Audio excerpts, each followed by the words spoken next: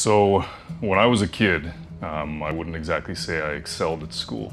I was that kid in the back of the class who would rather be drawing. And I knew that I was creative, but it didn't seem to be that school was the place where I could really use my gifts. And that was right up until a point where a teacher came to the school and kind of changed the way my understanding of school works. And what was amazing about a teacher that understood that, that uh, I was going to be in my own universe for a while was that they created an environment where my natural creativity could grow. And I chased that through a number of different companies right up until I came to Ubi. And I joined about five and a half years ago. And I remember fast forwarding to that time and thinking at three months in, okay, I've got that feeling again. I was there when we shipped Prince of Persia, The Sands of Time. That game in itself was revitalizing a beloved franchise. But that very team I was part of didn't want to make the following sequel.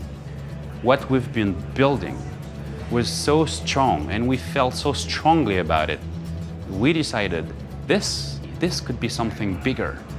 The management was expecting the sequel of Prince of Persia. We gave them what would become Assassin's Creed. This reminds me the uh, the development of the the original Splinter Cell back in early 2000s.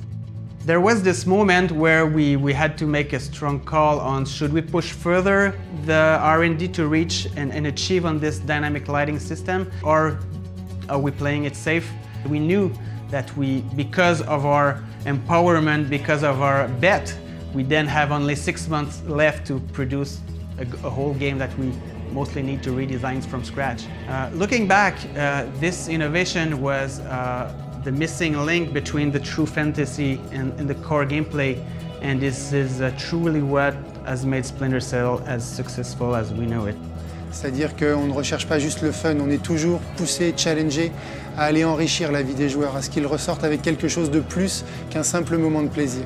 Je me souviens bien, moi, de, de, du moment après Assassin. C'est un gros succès commercial, mais à des critiques mitigées. Et là, euh, mandat nous est donné de prouver que euh, cette marque a vraiment du potentiel. Et pour moi, le setting, le choix du setting d'Assassin 2, la renaissance italienne, c'est l'exemple parfait pour montrer que Ubisoft est ce genre de compagnie qui pense que rencontrer Léonard de Vinci, jouer avec Lorenzo de Medici a autant de valeur que d'avoir des dragons ou des boules de feu. Et c'est cette conviction que enrichir la vie des joueurs, leur faire vivre quelque chose, leur permettre de comprendre le monde dans lequel on vit, a une valeur qui va mener au succès.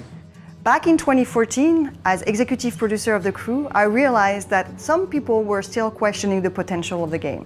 We came up with the idea to open up the game to the gamers as early in the development stage as alpha. In the end, who would be better than the players themselves to tell their friends how much fun they were having playing the game? We made the bold decision to propose to Ubisoft top management something we have not yet experienced as a group. Obviously, it was not a peaceful journey for us. We tried a lot of things, we made a lot of mistakes, we learned a lot. But we would not let it go, and we did not. We had the best partners, we had trust from top management, and we never give up. And today, it's still the number one racing game on the market. Une histoire qui est géniale, c'est en 2008, le studio Massive, basé en Suède, est mise en vente par son propriétaire. Et à l'époque, il n'y a vraiment pas beaucoup d'acheteurs et euh, seul Ubisoft s'y intéresse vraiment. Et donc, comme à chaque fois dans la stratégie euh, financière d'Ubisoft, le pari qui est fait, c'est le pari du contenu, c'est le pari de l'expérience pour, euh, pour le joueur, c'est le pari de l'innovation. Et donc nous investissons à long terme dans cette, dans cette équipe, nous apportons la connaissance d'Ubisoft, le savoir-faire d'Ubisoft dans la création. Et en 2016, ils sont venus avec The Division, qui est le plus gros lancement d'une nouvelle marque de toute l'histoire du jeu vidéo. When we create business partnerships, it's critical that we can choose who we work with. From film and production studios and TV networks to Hollywood talent, online creators, hardware makers, we can choose, we're in control, and this is getting us the best result possible. C'est pour ça que j'aime travailler à Ubisoft, c'est parce que je sais que c'est un, un terrain de jeu immense, où tout est possible, c'est un vrai open world où toutes les opportunités auront leur chance de se développer, où toutes nos idées de créateurs auront la chance d'être écoutées. C'est pour ça que moi je suis encore là aujourd'hui, c'est pour ça que je peux dire fièrement We are Ubisoft. We are Ubisoft. Nous sommes Ubisoft. We are Ubisoft. We are Ubisoft. We are Ubisoft. Since we are Ubisoft, I have one question for you. What future will you make?